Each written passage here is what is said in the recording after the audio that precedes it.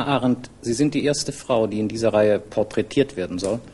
Die erste Frau, wenn auch freilich mit einer nach landläufiger Vorstellung höchst männlichen Beschäftigung. Sie sind Philosophin. Darf ich von dieser Vorbemerkung zu meiner ersten Frage kommen? Empfinden Sie Ihre Rolle im Kreise der Philosophen trotz der Anerkennung und des Respekts, den man ihnen zollt, als eine Besonderheit? Oder berühren wir damit ein Emanzipationsproblem, das für Sie nie existiert hat? Ja, ich fürchte, ich muss erst einmal protestieren. Ich gehöre nicht in den Kreis der Philosophen. Äh, mein Beruf, äh, wenn man davon überhaupt sprechen kann, ist äh, politische Theorie. Ich äh, fühle mich keineswegs als Philosophen. Ich bin auch nicht, ich glaube nicht, in den Kreis der Philosophen aufgenommen, wie Sie freundlicherweise meinen. Aber wenn wir auf die andere Frage äh, zu sprechen kommen, die Sie in der Vorbemerkung anschnitten, Sie sagen, es ist landläufig eine männliche Beschäftigung. Nun, es braucht ja nicht eine männliche Beschäftigung zu bleiben. Es könnte ja durchaus sein, dass auch eine Frau einmal eine Philosophin sein wird. Ich halte sie ich, für eine solche. Ja, also dagegen kann ich nichts machen. Aber ich selber darf doch auch eine Meinung äußern. Ich bitte darum. Und meine Meinung ist, dass ich keine Philosophin bin. Ich habe meiner Meinung nach der Philosophie doch endgültig valid gesagt. Ich habe Philosophie studiert, wie Sie wissen, aber das besagt ja noch nicht, dass ich dabei geblieben bin.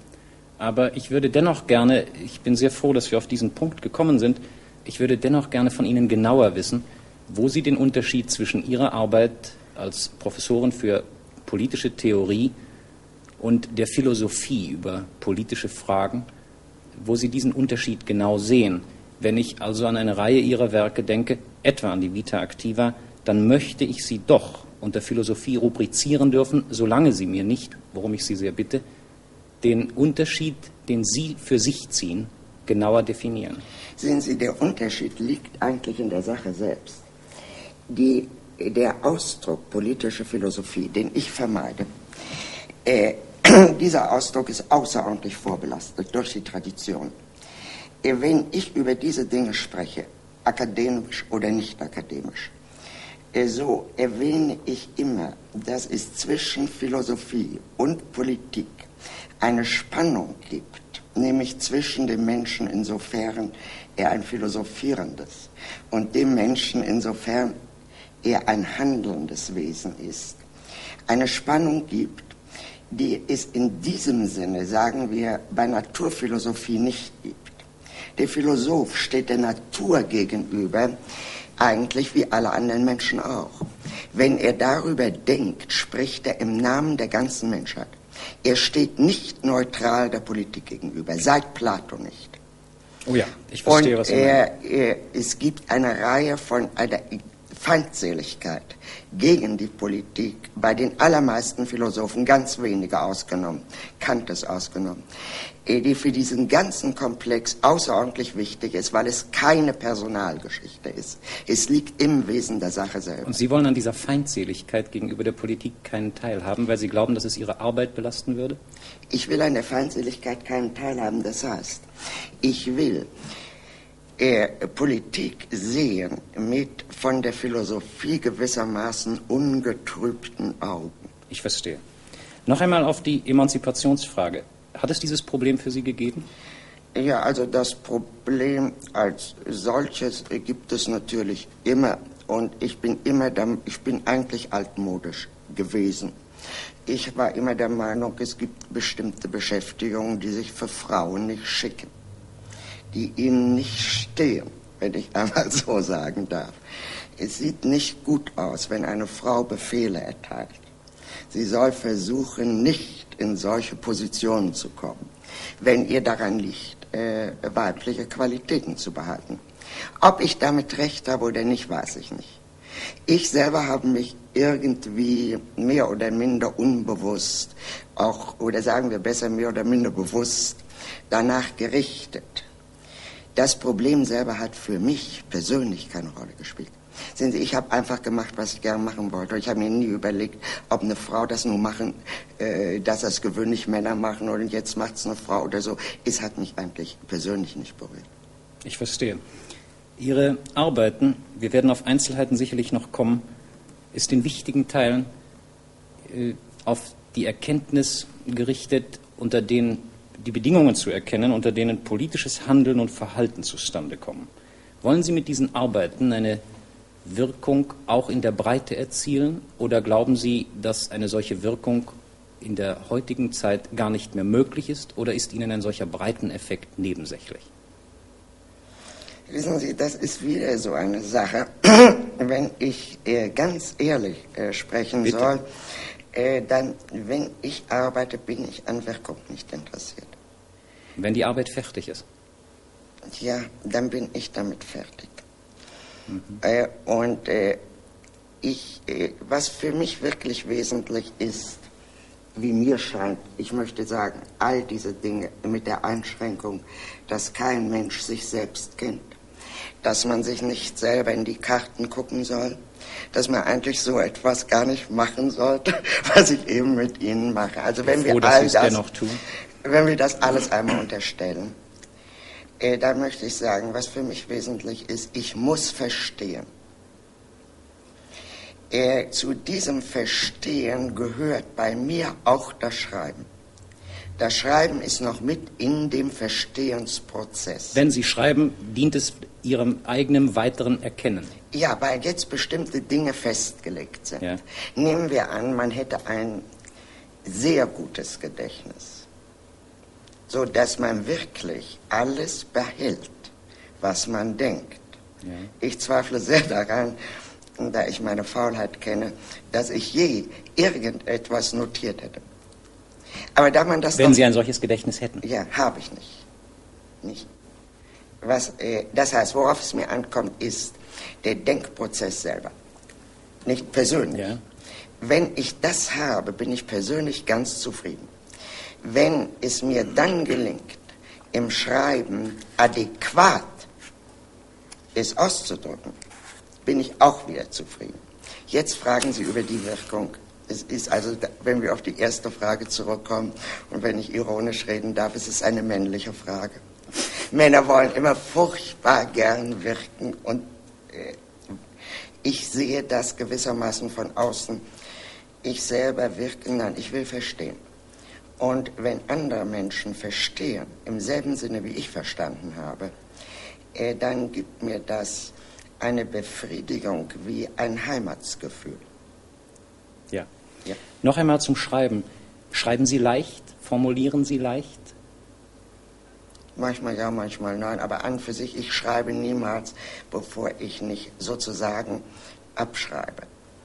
Mhm. Äh, Aus heißt, dem schon vorgedachten ich weiß, Ja, ich weiß genau was. Vorher schreibe ich nicht. Ich, äh, deshalb, äh, ich schreibe meistens nur eine Niederschrift. Und das geht dann verhältnismäßig rasch, weil es eigentlich nur davon abhängt, wie rasch ich tippe.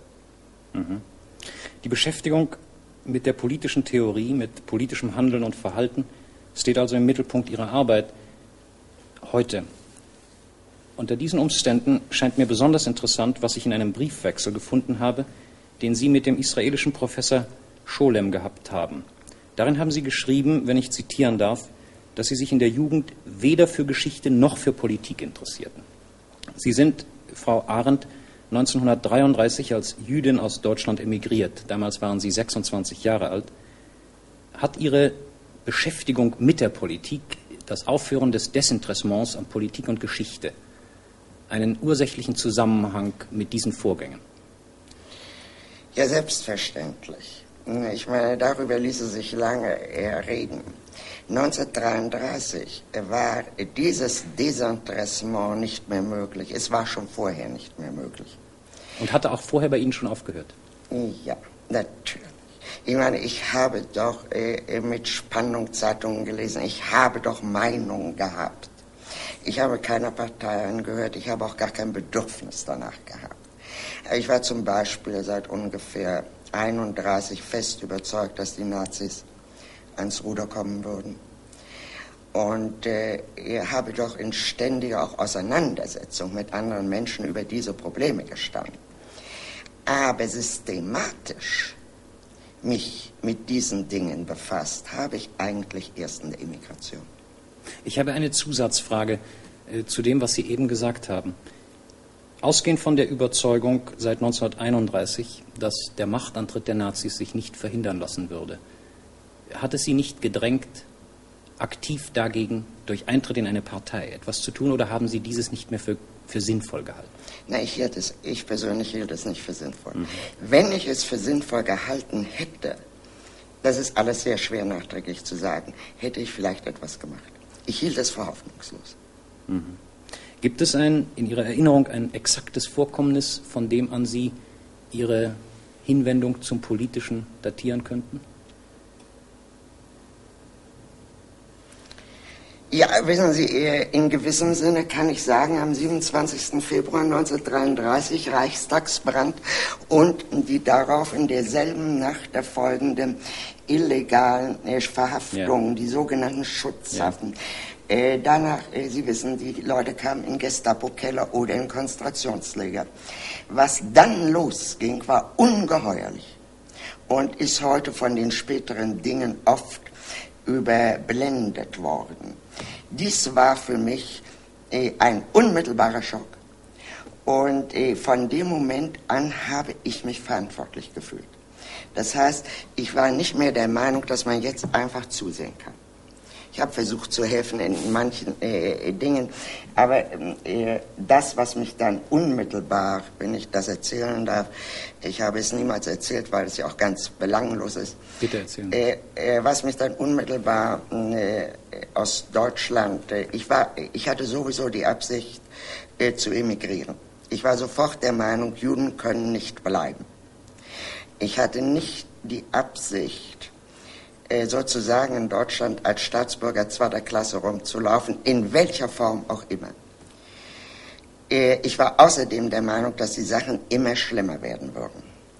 Trotzdem bin ich schließlich nicht auf so friedliche Weise abgezogen und muss sagen, ich hatte eine gewisse Befriedigung. Ich wurde verhaftet, musste illegal das Land verlassen, ich erzähle es Ihnen gleich. Ich hatte sofort eine Befriedigung darüber. Ich dachte, wenigstens habe ich was gemacht. Wenigstens bin ich nicht unschuldig. Das soll mir keiner nachsagen. Mhm. Nun, die Gelegenheit dazu gab mir damals die zionistische Organisation. Ich war mit einigen der führenden Leute damals, vor allen Dingen dem damaligen Präsidenten Kurt Blumenfeld, äh, sehr eng befreundet. Aber ich war keine Zionisten. Man hat auch nicht versucht, mich dazu zu machen. Immerhin war ich natürlich in gewissem Sinne davon beeinflusst, nämlich in der Kritik, äh, in der Selbstkritik, die die Zionisten im jüdischen Volke entfaltet haben. Davon war ich beeinflusst, davon war ich beeindruckt, aber politisch hatte ich nichts damit zu tun. Nun, 1933 trat Blumenfeld und ein anderer, den Sie nicht kennen, an mich heran und sagten zu mir, wir wollen eine Sammlung anlegen aller antisemitischen Äußerungen auf unterer Ebene. Also sagen wir mal Lehrervereine, alle Arten von Berufsvereinen, alle möglichen Fachzeitschriften, dasjenige, was im Ausland nicht bekannt wird. Diese Sammlung äh, äh, zu veranstalten, das fiel damals unter Gräuelpropaganda, wie man es nannte. Das konnte kein Mensch machen, der bei den Zionisten organisiert war. Weil wenn er hochging, die Organisation hochging. Natürlich. Ist doch klar. Natürlich. Willst du es machen? So ich natürlich, war sehr zufrieden. Äh, erstens äh, schien mir das sehr vernünftig. Und äh, zweitens hatte ich das Gefühl, man kann doch irgendwas tun. Und Sie sind im Zusammenhang mit dieser Arbeit verhaftet? Ja, da bin ich hochgegangen, habe sehr großes Glück gehabt. Äh, bin nach äh, acht Tagen, glaube ich, rausgekommen, weil der Kriminalbeamte, der mich verhaftete, mit dem freundete ich mich an. Und das war ein reizender Kerl. Äh, der war ursprünglich von der Kriminalpolizei in die politische Abteilung äh, avanciert. Der hatte keine Ahnung, was sollte er. Da sagte mir immer, na, gewöhnlich habe ich doch da jemanden vor mir sitzen, da sehe ich bloß nach, dann weiß ich schon, was das ist. Sag, was tue ich mit Ihnen? Sowas habe ich doch, naja, also Und, äh, Dies war in Berlin? Das war in Berlin. Ich habe den Mann leider belügen müssen, denn ich durfte ja die Organisation nicht hochgehen lassen. Ich habe ihm fantastische Geschichten erzählt. Und er sagte immer, ich habe sie hereingebracht, ich kriege sie auch wieder raus. Nehmen Sie keinen Anwalt, die Juden haben doch jetzt kein Geld, sparen Sie Ihr Geld. Inzwischen hatte die Organisation für mich einen Anwalt besorgt. Natürlich wieder durch Mitglieder. Und diesen Anwalt schickte ich weg, weil ich äh, mich auf diesen Mann, mhm. der mich verhaftet hatte, so ein offenes, anständiges Gesicht, ich verließ mich und dachte, das ist meine viel bessere Chance als irgendein Anwalt, der ja doch bloß Angst hat. Und Sie kamen raus und konnten Deutschland verlassen? Natürlich. Ich kam raus, musste aber illegal, weil die Sache natürlich weiterging. Mhm. Und äh, musste dann illegal über die grüne Grenze und so. In dem schon erwähnten Briefwechsel, Frau Arendt, haben Sie eine Art Mahnung Scholems. Sie möchten selbst sich doch bitte als Angehörige des jüdischen Volkes stets betrachten mit einer klaren Feststellung zurückgewiesen, nämlich, ich zitiere wieder, Jude sein gehört für mich zu den unbezweifelbaren Gegebenheiten meines Lebens und ich habe an solchen Faktizitäten niemals etwas ändern wollen, nicht einmal in der Kindheit. Das heißt, Sie haben also ganz klar festgestellt, dass es für Sie darüber nie etwas zu fragen gab und auch keiner Mahnung bedarf. Äh, dazu hätte ich gerne einige Fragen gestellt. Sie sind 1906 in Hannover als Tochter eines Ingenieurs geboren und in Königsberg aufgewachsen. Können Sie mir aus Ihrer Erinnerung erzählen, was es seinerzeit für ein Kind in Deutschland bedeutet hat, aus einer jüdischen Familie zu stammen? Sehen Sie, in dieser Allgemeinheit äh, äh, könnte ich die Frage nicht wahrheitsgemäß beantworten, wenn ich sie auf mich persönlich zuschneide. Also jetzt müssen ja. Sie mir sagen, was wollen Sie? Ich die allgemeine wissen, oder die persönliche? Zunächst einmal, wenn Sie erlauben, Ihre persönliche Erinnerung. Sehen Sie, die erste Sache, äh, die, äh, ich habe von Hause aus nicht gewusst, dass ich Jüdin bin. Meine Mutter war gänzlich religiös. Ihr Vater ist früh gestorben? Mein Vater ist früh gestorben. Jetzt klingt alles sehr komisch. Mein Großvater war äh, Präsident der liberalen Gemeinde und Stadtverordneter von Königsberg. Ich komme aus einer alten Königsberger Familie. Und trotzdem, das Wort ist bei uns nie gefallen, als ich ein Kind war, äh, ein kleines Kind war. Und es wurde mir zum ersten Mal entgegengebracht durch äh, antisemitische äh, Bemerkungen, es lohnt sich nicht zu erzählen, äh, von Kindern auf der Straße. Nicht? Mhm. Daraufhin wurde ich also sozusagen aufgeklärt. Mhm. Also in diesem Sinne. War das für Sie ein Schock? Nee. Hatten Sie das Gefühl, jetzt bin ich etwas Besonderes? Ja, sehen Sie, das ist eine andere Sache. Ein Schock war es für mich gar nicht. Ich dachte, naja, also so ist es, nicht? Mhm. Habe ich das Gefühl gehabt, dass ich etwas Besonderes bin, ja. Und äh, das kann ich Ihnen heute nicht mehr auseinanderklabüstern. Welche Vorstellung? Welche Vorstellung? Ich bin der Meinung, objektiv, dass das mit dem Jüdischsein zusammenhängt. Ich wusste zum Beispiel als Kind, ein etwas älteres Kind jetzt, dass ich jüdisch aussehe. Das heißt, dass ich anders aussehe als die anderen. Das war mir sehr bewusst. Aber nicht in der Form einer Minderwertigkeit, mhm. sondern das war eben so. Mhm. Und äh, dann äh, meine Mutter, mein Elternhaus also sozusagen, er war ein bisschen anders, als es gewöhnlich ist. Es war so viel Besonderes daran, auch gegenüber äh, den anderen jüdischen Kindern oder den Kindern aus der Familie yeah. sogar. Äh, dass sehr schwer festzustellen war, wo war nun das Besondere für ein Kind. Yeah. Aber dass das irgendeine Rolle gespielt hat, keine Frage. Äh, ich würde gerne das, was Sie das Besondere Ihres Elternhauses, äh, vor allem also wohl dann Ihrer Mutter, genannt haben, etwas erläutert bekommen.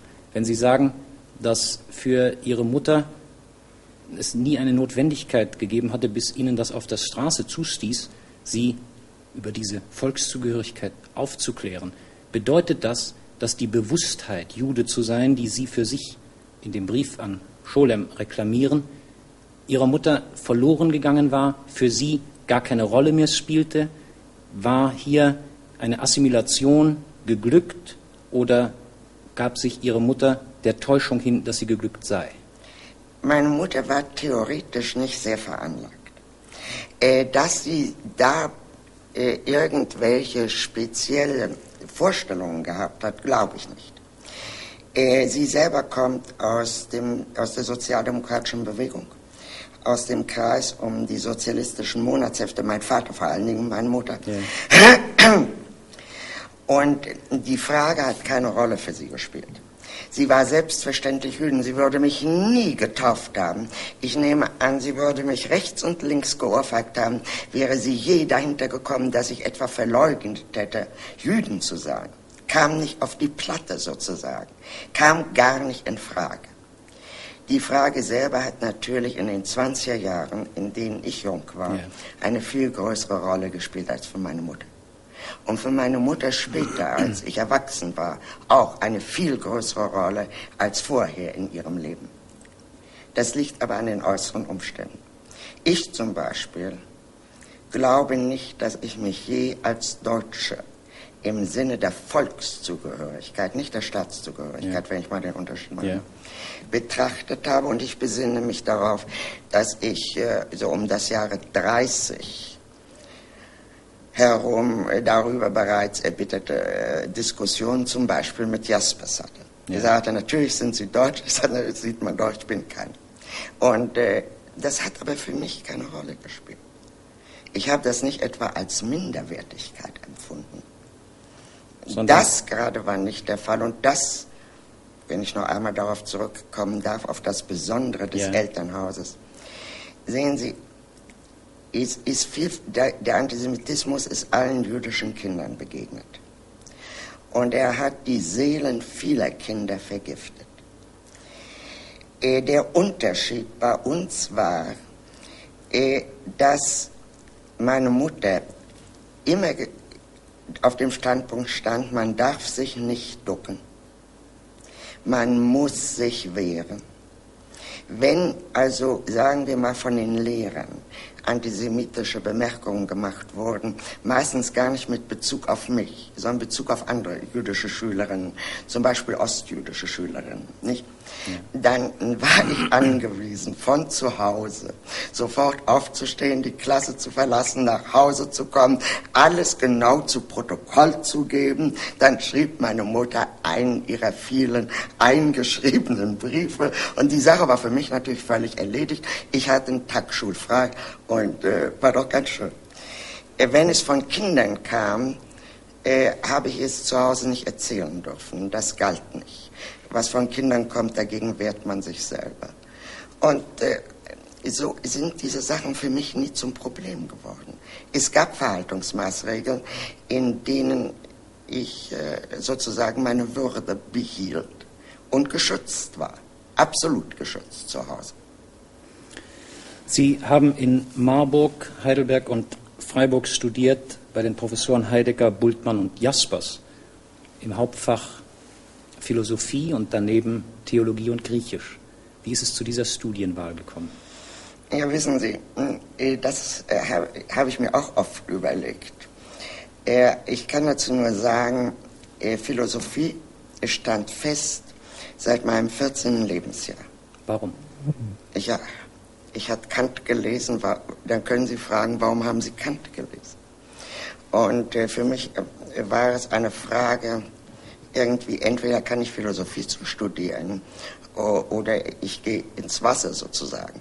Äh, aber nicht etwa, weil ich das Leben nicht liebte, sondern ich sagte vorhin, äh, dieses Verstehen müssen. Ja, das nicht? Bedürfnis das, ja, zu, verstehen. verstehen. Äh, das war sehr früh schon da. Und das legte sich dann auch sehr früh schon. Sehen Sie, die Bücher gab es alle zu Hause. Die ja. zog man aus der Haben Bibliothek. Haben Sie außer Kant Lektüreerlebnisse, an die Sie sich besonders ja. erinnern? Äh, erstens Jaspers äh, Psychologie der Weltanschauung, erschien, glaube ich, 1920. Äh, da war ich 14. 14, 13, 14, 20, 21 Jahre. Äh, daraufhin las ich Kierkegaard. Und äh, das hat sich dann gekoppelt mit Kam der von daher die Theologie hinein? Ja, das hat sich dann so gekoppelt, dass das beides für mich zusammengehörte. Ich hatte dann nur Bedenken, wie man das denn nun macht, wenn man Jüden ist, nicht? Und ähm, äh, wie das vor sich geht. Ich hatte doch keine Ahnung, nicht? Und da hatte ich schwere Sorgen, die sich dann ohne weiteres beheben ließen. Griechisch ist eine andere Sache. Ich habe immer sehr griechische Poesie geliebt. Und Dichtung hat in meinem Leben eine große Rolle gespielt.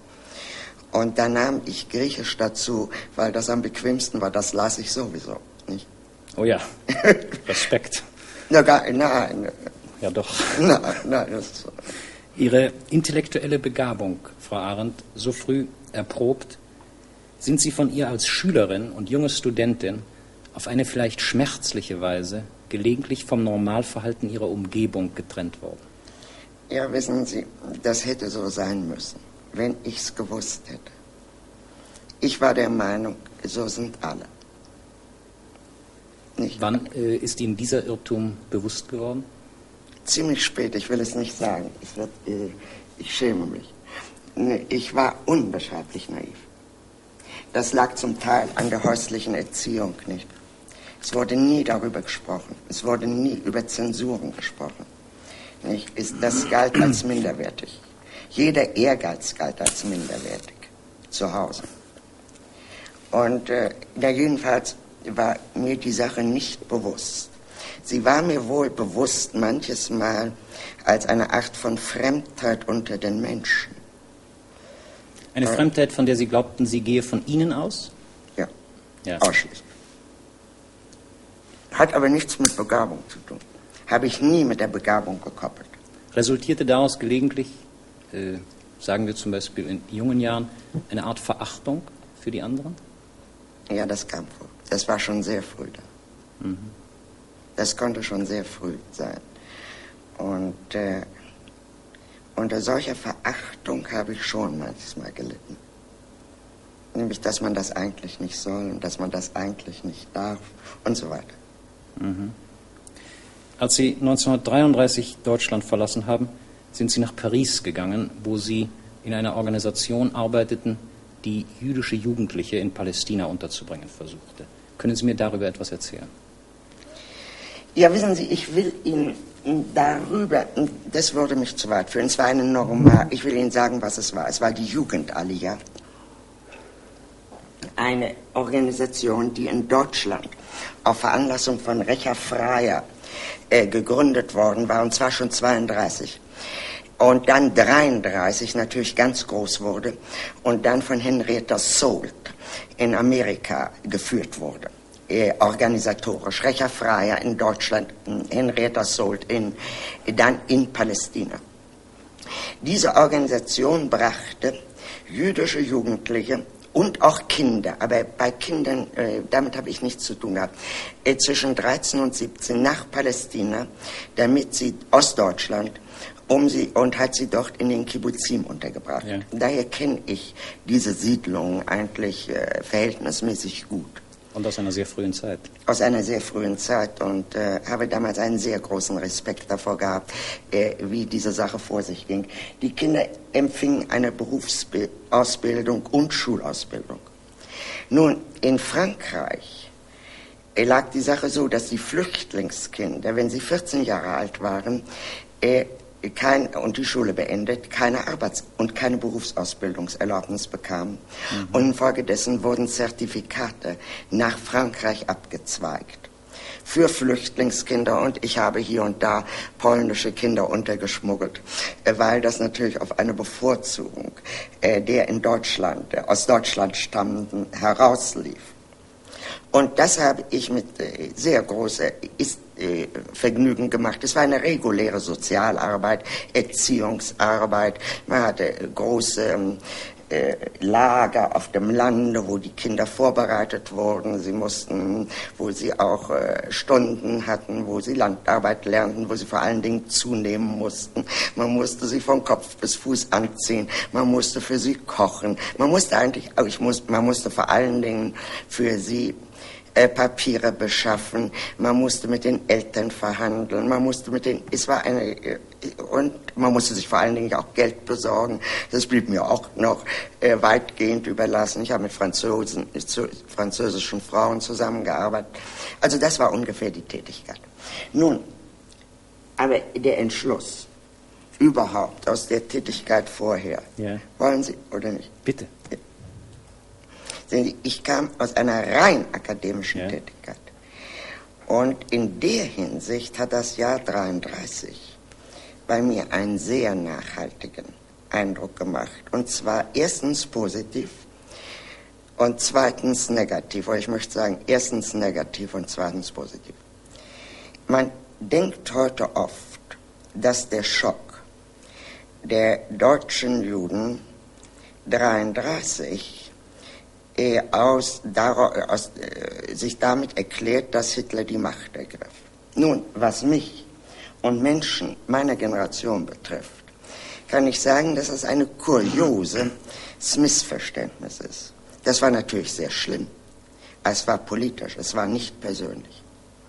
Dass die Nazis unsere Feinde sind, mein Gott, wir brauchten doch bitteschön nicht Hitlers Machtergreifung, um das zu wissen. Das war doch seit mindestens vier Jahren jedem Menschen, der nicht schwachsinnig war, äh, völlig evident. Dass ein großer Teil des deutschen Volkes dahinter stand, ja, das wussten wir ja auch. Davon konnten wir doch nicht 33 schockartig überrascht sein. Sie meinen, der Schock lag im Jahr 33 darin, dass es vom allgemein Politischen ins Persönliche gewendet wird? Nein, nicht mal. Erst das auch. Erstens wurde das allgemein Politische ja eine persönliche Schicksal, sofern man herausging, nicht? Ja. Zweitens aber wissen Sie ja, was Gleichschaltung ist.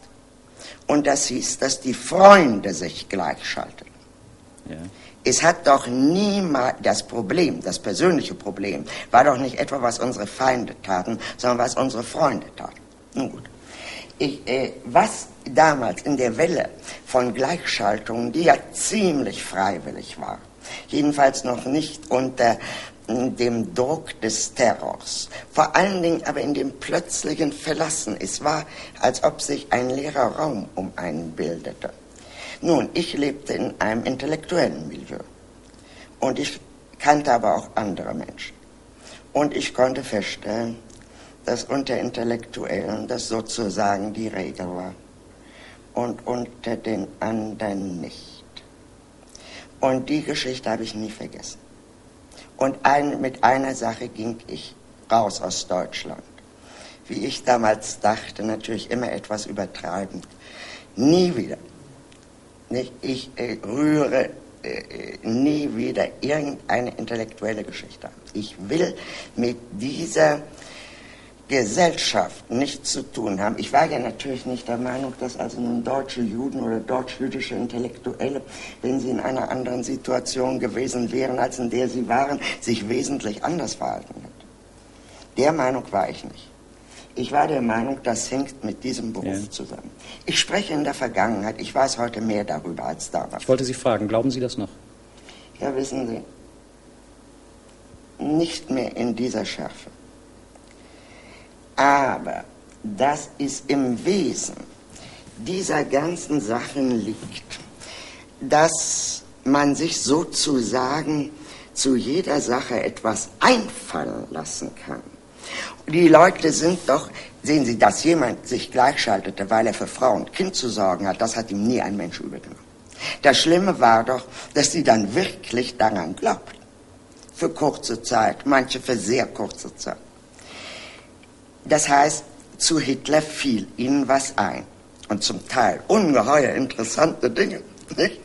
Ganz fantastisch interessante und komplizierte und hoch äh, über dem gewöhnlichen Niveau schwebende Dinge. Das habe ich als grotesk empfunden. Das heißt, diese, sie gingen ihren eigenen Einfällen in die Falle, würde ich heute sagen. Nicht das ist das, was passiert ist. Das habe ich damals nicht zu übersehen.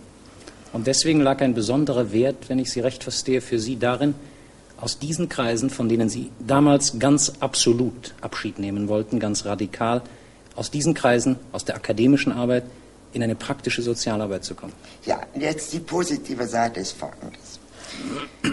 Ich habe damals immer wieder gesagt, einen Satz, darauf besinne ich mich. Wenn man als Jude angegriffen ist, muss man sich als Jude verteidigen. Nicht als Deutscher oder als Bürger der Welt oder der Menschenrechte oder so sondern ganz konkret. Wie kann ich, was kann ich machen? Zweitens, Wenn ich will, also auf jeden Fall, jetzt will ich mich an der Tat organisieren. Zum ersten Mal. Und organisieren natürlich bei den Zionisten. Und es waren ja die Einzigen, die bereit waren. Äh, äh, ich meine, bei den Assimilanten, das hätte ja gar keinen Sinn natürlich, gehabt. Ja. Ich habe damit übrigens wirklich nie etwas zu tun gehabt. Mit der Judenfrage selber habe ich mich vorher beschäftigt. Die Reihe Warnhagen war fertig, ja. als ich Deutschland verließ. Und da spielt das Judenproblem ja eine, eine Rolle. Forschungsarbeit im Auftrag der Hilfsgemeinschaft. Die Notgemeinschaft, Notgemeinschaft hat mir damals, äh, ja, ich habe das Stipendium ja. von der Notgemeinschaft gehabt, ja. dieses übliche Stipendium. Und, äh, äh, aber äh, das habe ich damals auch äh, im Sinne, ich will verstehen es waren nicht meine persönlichen Jugendprobleme, die ich da erörterte. Aber jetzt war es mein eigenes Problem. Und mein eigenes Problem war politisch, rein politisch. Ich wollte in die praktische Arbeit und ich wollte nur in die jüdische Arbeit. Mhm. Und in diesem Sinne habe ich mhm. mich dann in Frankreich mhm. äh, orientiert. Nicht? Bis zum Jahre 1940. Ja. Sie sind im Zweiten Weltkrieg dann in die Vereinigten Staaten von Amerika gelangt, wo Sie heute als Professorin für politische Theorie, nicht Philosophie, Danke. politische mhm. Theorie in Chicago äh, arbeiten, in New York wohnen. Ihr Mann, den Sie 1940 geheiratet haben, ist ebenfalls als Philosophieprofessor in Amerika tätig. Nun ist die akademische Provinz, der Sie inzwischen wieder angehören, nach der Enttäuschung aus dem Jahre 1933, international. Dennoch möchte ich Sie fragen, ob Ihnen das Europa der Vorhitlerzeit, das es nie wieder geben wird, fehlt, wenn Sie in Amerika sind oder wenn Sie nach Europa kommen? Was ist geblieben und was ist unrettbar verloren? Das Europa der Vorhitlerzeit, ich habe keine Sehnsucht. Äh, das kann ich nicht sagen. Was ist geblieben? Geblieben ist die Sprache. Mhm. Und das bedeutet viel für Sie? Sehr viel. Und ich habe immer bewusst abgelehnt, die Muttersprache zu verlieren. Ich habe immer eine gewisse Distanz behalten. Sowohl zum Französischen, das ich damals sehr gut sprach, wie zum Englischen, das ich ja heute schreibe. Das wollte ich fragen. Sie schreiben heute in Englisch. Ich schreibe in Englisch, aber äh, ich habe die Distanz nie. Sehen Sie, es ist ein ungeheurer Unterschied zwischen Muttersprache und allen anderen Sprachen. Bei mir kann ich das furchtbar einfach äh, sagen. Im Deutschen kenne ich eine ziemlich großen Teil deutscher Gedichte auswendig. Die sind die äh, bewegen sich da immer irgendwie im Hinter, in the back of my mind. Also, äh, das ist natürlich nie wieder äh, zu erreichen. Im Deutschen äh, erlaube ich mir Dinge, die ich mir im Englischen nicht erlauben würde mir jetzt manchmal auch schon erlaube, weil ich halt frech geworden bin. Aber äh, im Allgemeinen habe ich, äh, die deutsche Sprache ist das Wesentliche, was geblieben ist und was ich auch bewusst immer gehalten habe. Das, es gibt auch Leute, während der bittersten Zeit. Immer. Ich habe mir gedacht, was, also, was, was soll man da machen? Nicht, also, es ist ja nicht die deutsche Sprache, die verrückt geworden ist, nicht? Äh, sondern, äh, nicht, äh, also, äh, und zweitens, es gibt keinen Ersatz für die Muttersprache. Man kann die Muttersprache vergessen. Das ist wahr. Ich habe es gesehen. Was dann entsteht, ist, dass die Leute sprechen die fremde Sprache besser als ich. Ich spreche immer noch mit einem sehr starken Akzent und ich spreche oft nicht, wie man bei uns sagt, idiomatisch. Ja. Das können die alle. Es wird eine Sprache, wo ein Klischee das andere jagt. Weil nämlich die eigentliche Produktivität, die man der eigenen Sprache hat, abgeschnitten ist, indem man diese Sprache vergaß. Mhm. Wenn Sie äh, von Fällen gesprochen haben, die Sie getroffen haben, wo die Muttersprache vergessen wurde, war dieses nach Ihrem Eindruck die Folge einer Verdrängung? Sehr oft. Ich habe es, ich habe das gesehen bei Leuten schockartig. Nämlich, äh, wissen Sie, das Entscheidende ist ja nicht 33, jedenfalls für mich nicht. Das Entscheidende ist der Tag gewesen, an dem wir von Auschwitz erfuhren. Wann war das? Das war 43 und erst haben wir es nicht geglaubt. Äh, obwohl äh, mein Mann und ich eigentlich immer sagten, wir trauen der Bande alles zu. Äh, dies haben wir nicht geglaubt, auch weil es ja gegen alle militärischen äh, Notwendigkeiten und Bedürfnisse wahr. Mein Mann äh, ist ehemaliger Militärhistoriker, versteht etwas von den Dingen, hat gesagt, lass die keine Geschichten einreden, das können sie nicht mehr. Nicht wahr? Ja. Und dann haben wir es ein halbes Jahr später doch geglaubt, weil es uns bewiesen wurde. Und das ist der eigentliche Schock gewesen. Wissen Sie, vorher hat man sich gesagt, ja, man hat halt Feinde in der Welt. Nicht? Das ist doch ganz natürlich. Warum soll ein Volk keine Feinde haben? Das ist eine Bande. Ja, alles Mögliche.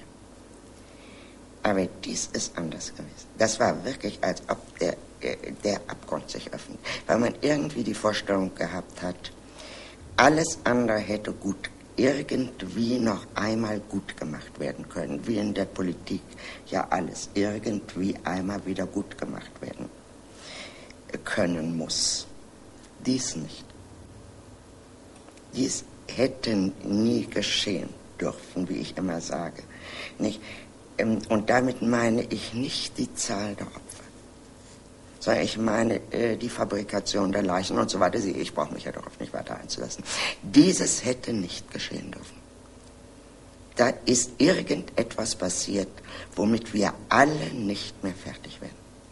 Und mit allen anderen Sachen, muss ich sagen, die da passiert sind, das war manchmal ein bisschen schwierig und äh, man war sehr arm und man war verfolgt, man äh, musste fliehen und man musste sich durchschwindeln und was immer, nicht wie das halt so ist. Äh, ich, wir waren jung, mir hat sogar noch ein bisschen Spaß gemacht. Äh, das kann ich äh, gar nicht anders sagen. dies nicht. Dies war etwas ganz anderes. Mit allem anderen konnte man auch persönlich fertig werden. Ich würde gerne von Ihnen hören, Frau Arendt, auf welche Weise, wenn Ihr Urteil über das Nachkriegsdeutschland, das Sie oft besucht haben und in dem Ihre wichtigsten Werke erschienen sind, sich gewandelt hat, von 1945 bis heute. Ich bin zum ersten Mal wieder nach Deutschland 1949 gekommen. Damals im Auftrag einer jüdischen Organisation für die Rettung jüdischen Kulturguts, Bücher im Wesentlichen. Eine Organisation, die ich damals leitete, also was man sagt, Executive Director, ist ja egal. Ich kam mit sehr gutem Willen. Sehen Sie, meine Überlegung seit 45 war die folgende.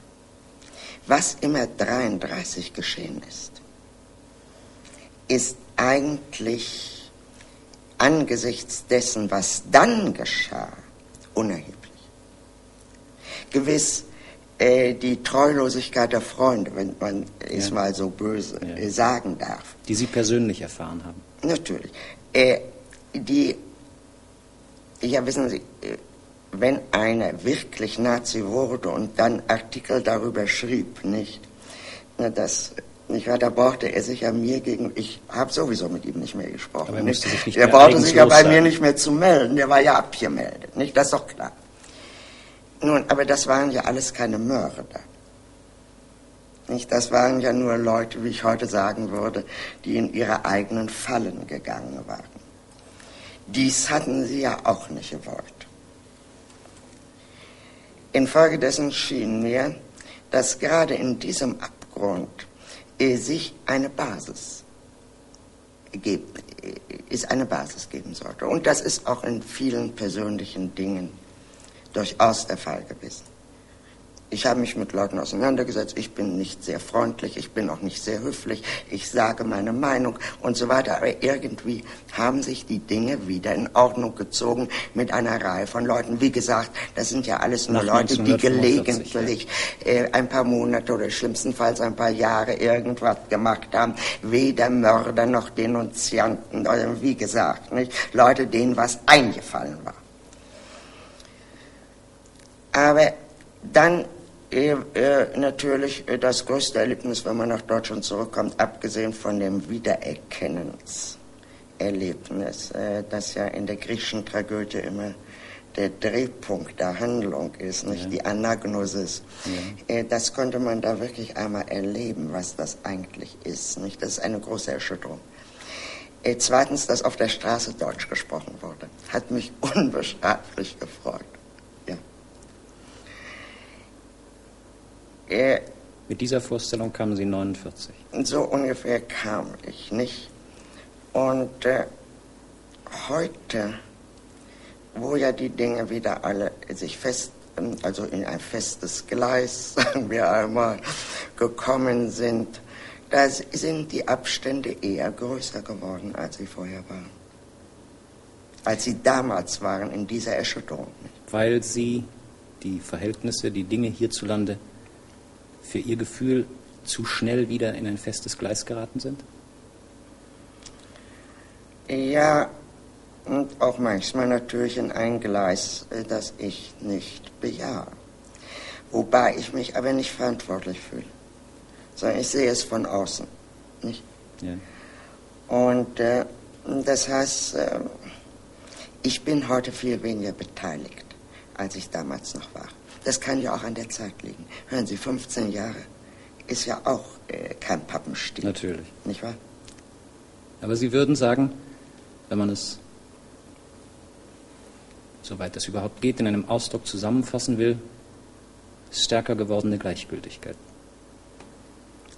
Ja, Distanzierung, Gleichgültigkeit ist zu viel. Aber Distanzierung ist wahr.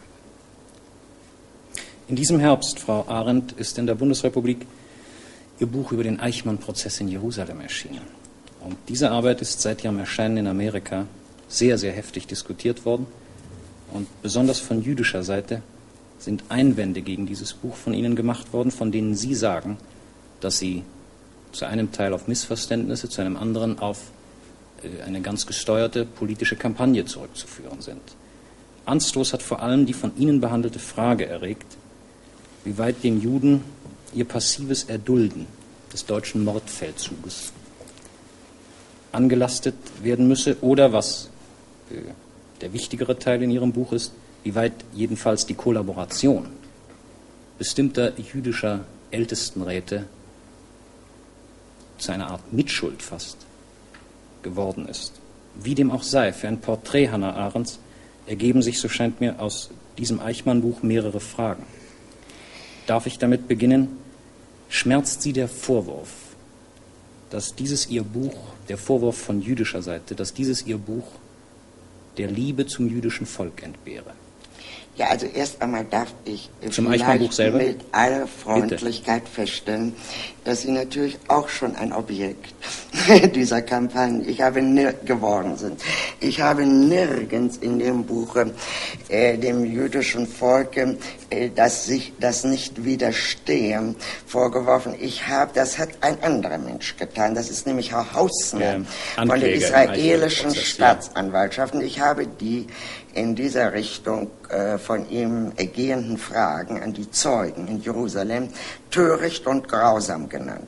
Ich habe das Buch gelesen, ich weiß dieses, nur richten sich ein Teil der Vorwürfe, die man ihnen gemacht hat, auf am Ton, in dem manches geschrieben ist. Nun ja, das ist eine andere Sache.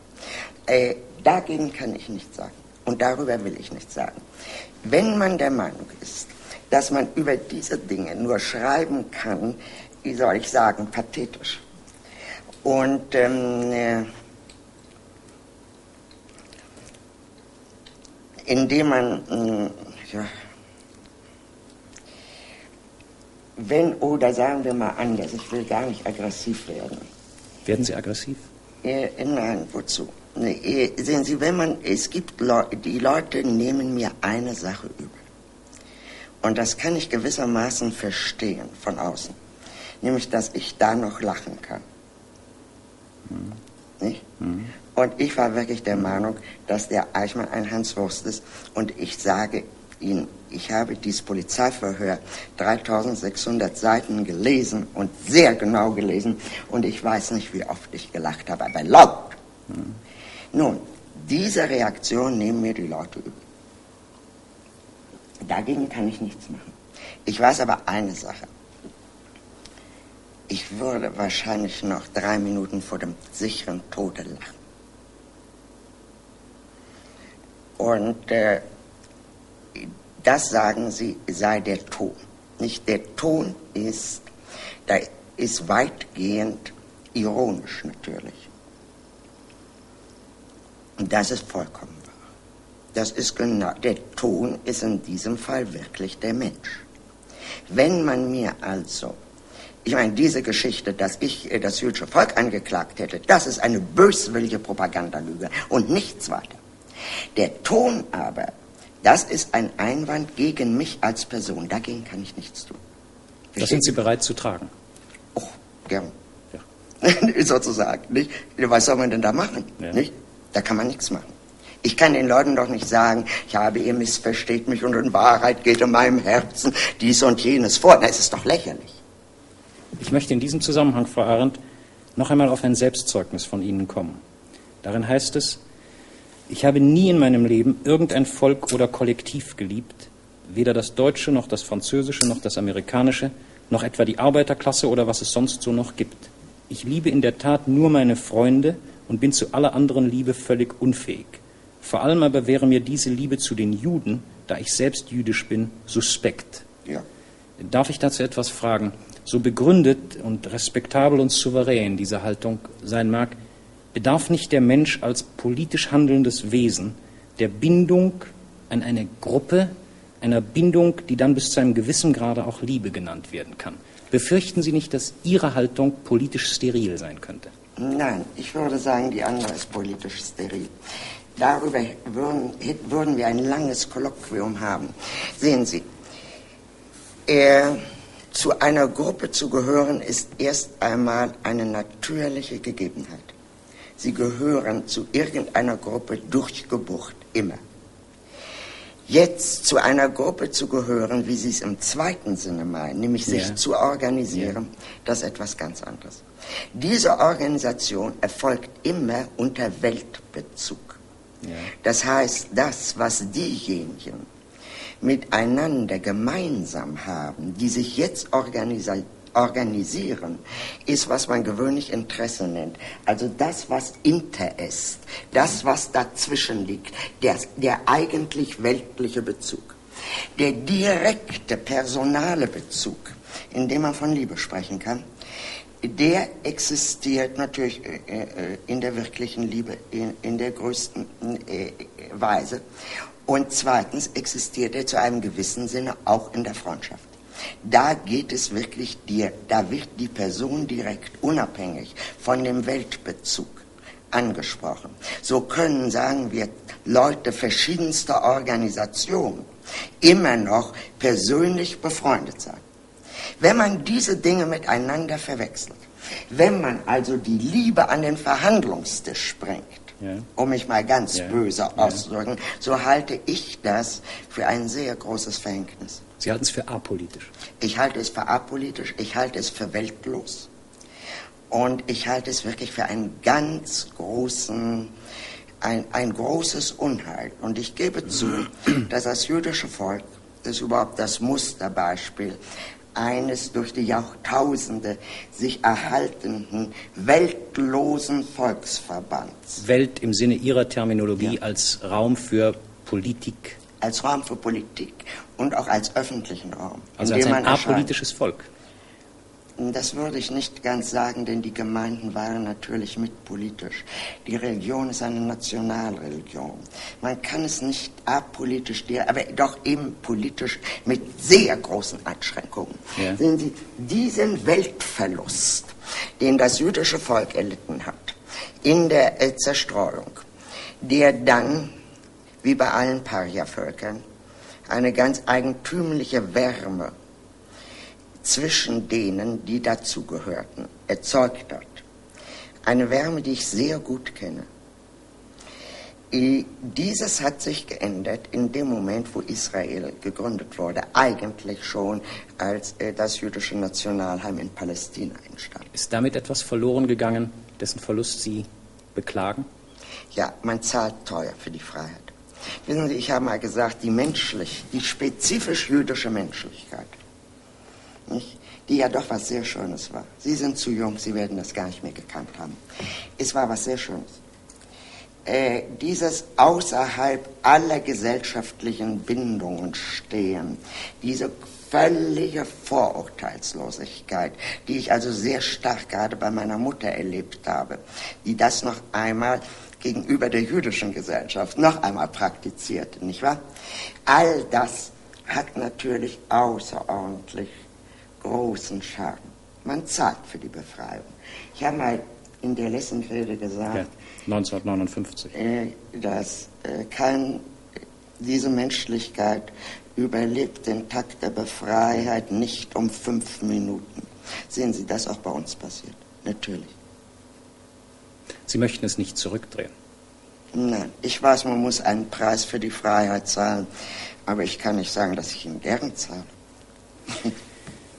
Frau Arendt, fühlen Sie sich einer Erkenntnis, die Sie auf dem Wege der politisch-philosophischen Spekulation oder der soziologischen Analyse etwa gewinnen, fühlen Sie sich einer solchen Erkenntnis so sehr verpflichtet, dass Ihnen die Publikation dieser Erkenntnis selbst zur Pflicht wird?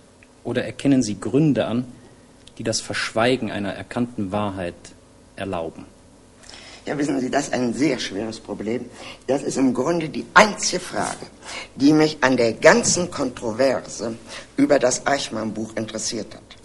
Sie ist zwar nie aufgekommen, außer wenn ich sie angeschnitten habe. Ich habe sie öfters angeschnitten in Vorträgen. Sie ist die einzig ernste Frage. Als übrigens doch reines Propagandagewäsch. Äh, also äh, Fiat äh, Veritas pereat mundus. Nun, das Eichmann-Buch hat de facto solche Dinge nicht angerührt. Dadurch wird im Grunde niemand das Interesse, legitimes Interesse, wirklich beeinträchtigt. Man glaubt es nur. Ja, wobei Sie, was legitim ist, natürlich der Debatte überlassen müssen. Mm, ja, Sie haben recht. Was legitim ist, steht noch einmal, ja, Sie haben recht. Äh, wobei ich eben wahrscheinlich unter legitim anderes verstehe ja. als, als, die jüdischen Organisationen. Ja. ja, das ist richtig. Aber nun nehmen wir doch einmal an, es seien wirkliche, also auch von mir anerkannte, ja. Interessen im Spiel. Darf man dann eine erkannte Wahrheit Hätte ich es getan? Ja, geschrieben hätte ich es. Veröffentlicht? Nein. Auf keinen Fall wäre, nehmen wir an, es hat mich jemand gefragt, äh, wenn Sie das und das vorausgesehen hätten, hätten Sie äh, das Eichmann-Buch ähm, nicht anders geschrieben. Ich habe geantwortet, nein. Ich hätte entweder das, ich wäre vor der Alternative gestanden, zu schreiben oder nicht zu schreiben. Ja. Man kann ja die Schnauze haben. Ja. Man muss ja nicht immer sagen. Jetzt gibt es aber Folgendes. Sehen Sie, wir kommen ja auf die Frage, dessen, was man im 18. Jahrhundert die Tatsachenwahrheiten genannt hat. Soll man die, diese, es handelt sich ja nur um Tatsachenwahrheiten. Es handelt sich ja nicht um Meinungen. Ja.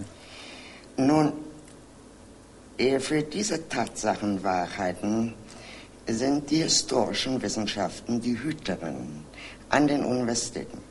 Nicht immer die allerbesten gewesen. Nein, sie fallen um. Äh, sie lassen sich vom Staate vorschreiben. Äh, Sie sagen, wie man mir berichtet hat, ähm, irgendein Buch über die Entstehung des Ersten Weltkriegs, sagt ein deutscher Historiker, ich werde mir von Ihnen nicht die Erinnerung an diese erhebende Zeit vermasseln lassen. Na, also gut, das ist also ein Mann, der nicht weiß, wer er ist. Das ist ja nicht interessant. De facto ist er, ein, ist er der Hüter der geschichtlichen Wahrheit, des, der Tatsachenwahrheit. Und diese Hüter äh, wie wichtig die sind, wissen wir zum Beispiel aus der bolschewistischen äh, äh, Geschichte, wo Geschichte alle fünf Jahre umgeschrieben wird. Nicht? Und die Tatsachen, zum Beispiel, dass es einen Herrn Trotzke gegeben hat, unbekannt bleiben. Wollen wir dahin? Haben die Regierungen daran ein Interesse? Ein Interesse möglicherweise. Haben sie darauf ein Recht? Haben Sie ein Recht darauf? Sie scheinen doch selber nicht zu glauben, dass Sie ein Recht darauf hätten, denn sonst würden Sie ja Universitäten überhaupt nicht dulden. Also gibt es ja doch ein Interesse auch der Staaten selber an der Wahrheit. Ich meine hier jetzt keine Militärgeheimnisse. Ja, ja. Das ist eine andere Sache. Nun, diese Geschichten sind ungefähr 20 Jahre zurück. Warum soll man denn nicht die Wahrheit sagen? Weil 20 Jahre vielleicht noch zu wenig sind? Ja, das sagen manche Leute und andere sagen, nach 20 Jahren kann man die Wahrheit ja gar nicht mehr herauskriegen. Das heißt, in jedem Falle besteht das Interesse, sich selber reinzuwaschen. Das ist kein legitimes Interesse. Sie würden also im Zweifelsfalle der Wahrheit den Vortritt lassen? Ich würde sagen, dass Unparteiischkeit, das ist in die Welt gekommen als Homer. Auch für den Besiegten. Richtig. Wenn des Liedes Stimmen schweigen von dem überwundenen Mann, dann ja. lass mich vor Hektor zeugen, ja. nicht? Das hat Homer getan. Dann kam Herodot und hat gesagt, die großen Taten der Griechen und der Barbaren. Aus diesem Geiste kommt die ganze Wissenschaft, auch noch die moderne, auch die Geschichtswissenschaft.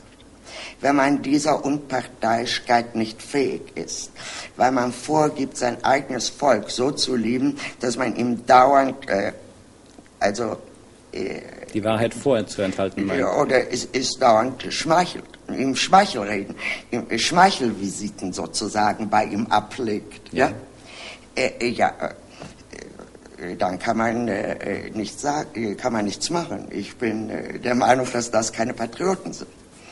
In einem ihrer wichtigsten Werke, Vita Activa oder vom tätigen Leben, nach meinem Eindruck wichtigsten Werke, kommen Sie zu dem Schluss, Frau Arendt, dass die Neuzeit den Gemeinsinn, also den Sinn für die Erstrangigkeit des Politischen, entthront hat, und Sie bezeichnen als die modernen gesellschaftlichen Phänomene die Entwurzelung und Verlassenheit des Massenmenschen und den Triumph eines Menschentyps, der im bloßen Arbeits- und Konsumvorgang sein Genügen findet.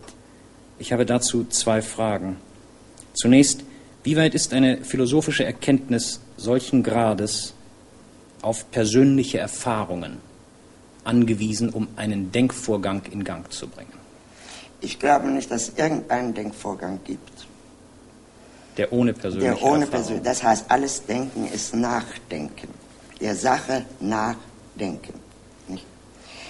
Äh, ich lebe in der modernen Welt. Und selbstverständlich habe ich in der modernen Welt meine Erfahrung.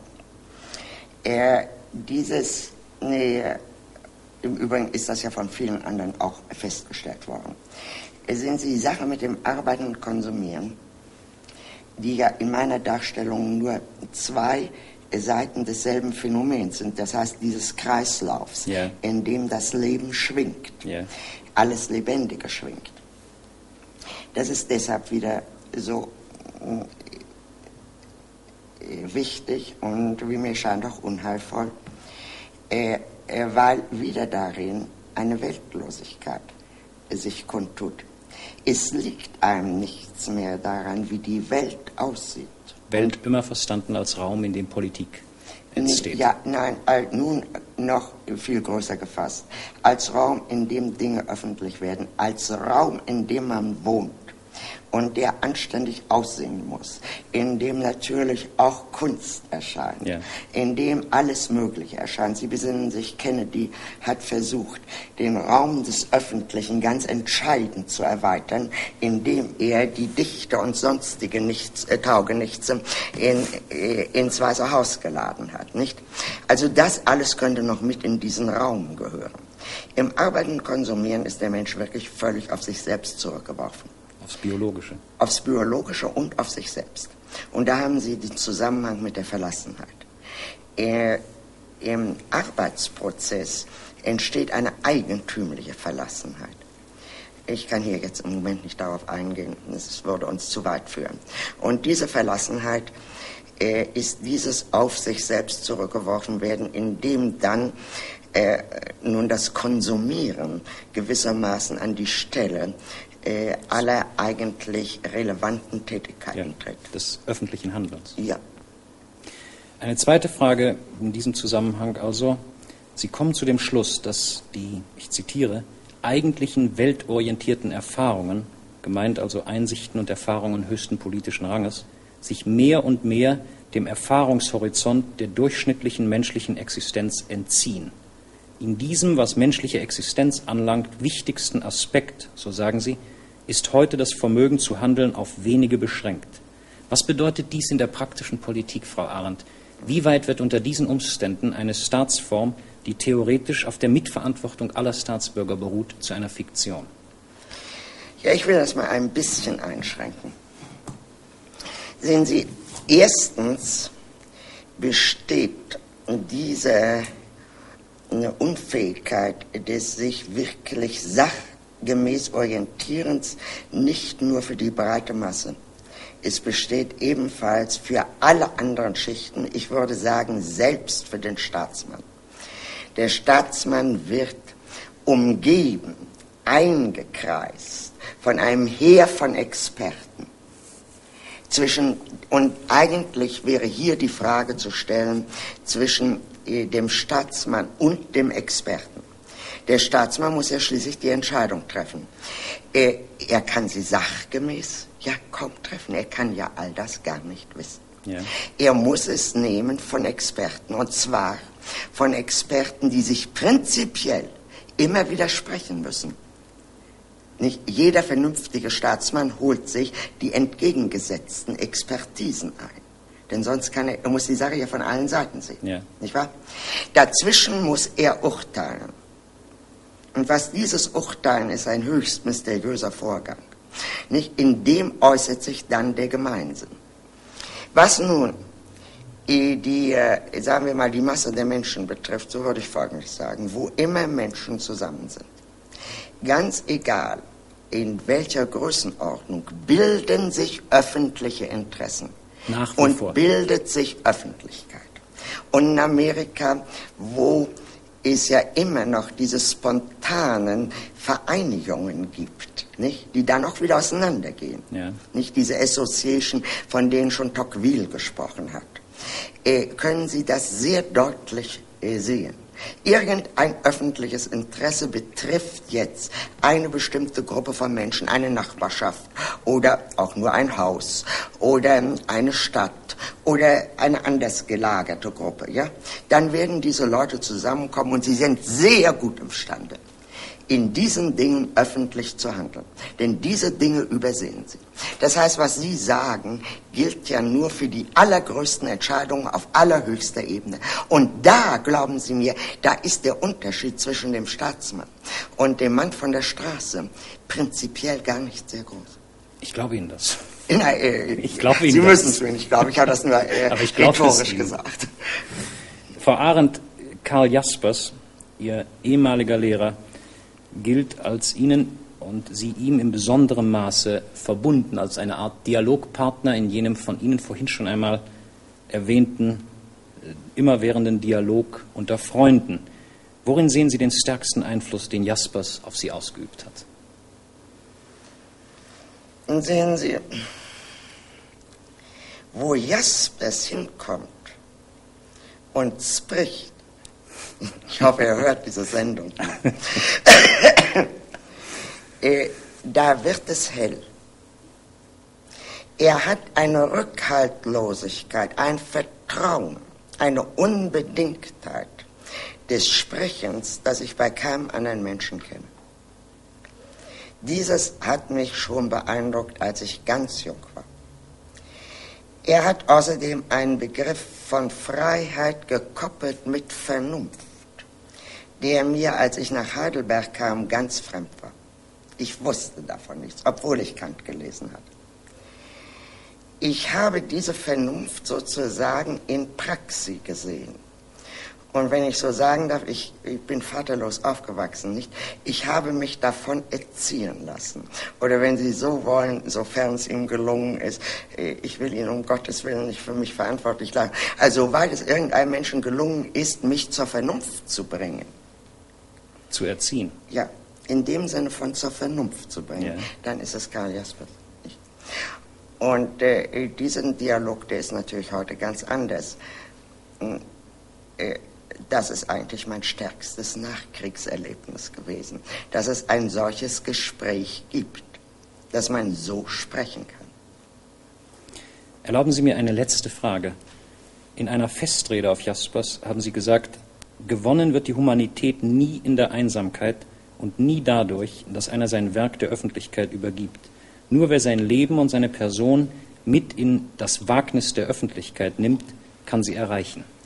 Dieses Wagnis der Öffentlichkeit, ein Zitat von Jaspers wiederum nun, worin besteht es für Hannah Arendt?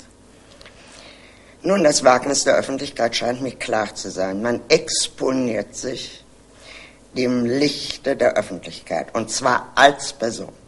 Wenn ich auch der Meinung bin, dass äh, man nicht auf sich selbst reflektiert, in der Öffentlichkeit erscheinen und handeln darf, so weiß ich doch, dass in jedem Handeln die Person in einer Weise zum Ausdruck kommt, wie in keiner anderen, im Handeln und Sprechen. Äh, das Sprechen ist eine Form des Handelns, wie in keiner anderen Tätigkeit. Also das ist das eine. Das zweite Wagnis ist, wir fangen etwas an, wir schlagen unseren Faden in ein Netz der Beziehungen. Was daraus wird, wissen wir nie. Wir sind alle darauf angewiesen zu sagen, Herr, vergib ihnen, was sie tun, sie wissen nicht, was sie tun. Das gilt für alles Handeln. Einfach ganz konkret, weil man es nicht wissen kann. Das ist ein Wagnis. Und nun würde ich sagen, abschließend, dass dies Wagnis nur möglich ist im Vertrauen auf die Menschen.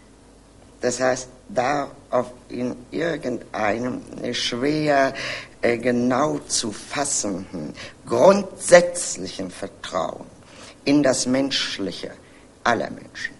Anders könnte man